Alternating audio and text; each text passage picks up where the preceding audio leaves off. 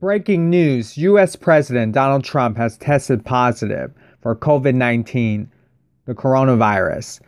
Trump first announced this on Twitter a couple of hours ago. His wife, First Lady Melania Trump, has also tested positive for the virus. Been reported that White House aide Hope Hicks first got the virus.